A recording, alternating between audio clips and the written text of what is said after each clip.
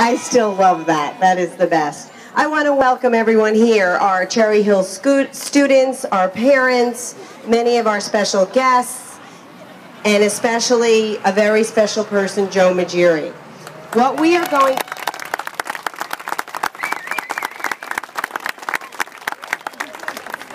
what we are going to do, we are all going to stand for the flag salute, followed by the Star Spangled Banner. And then I will invite um, our River Edge mayor up for a few comments to tell you why we are here on this beautiful day to honor a beautiful person.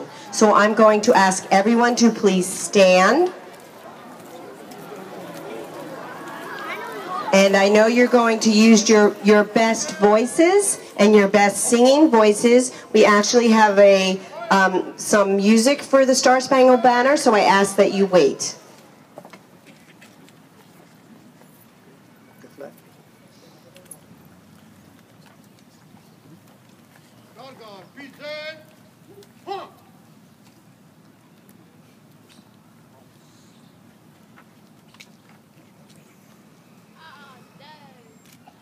Please, please all stand and salute the flag of the United States of America. Attention, present arms. I pledge allegiance to the flag of the United States of America and to the republic for which it stands, one nation, under God, indivisible, with liberty and justice for all. You watch. Mr. Lewis.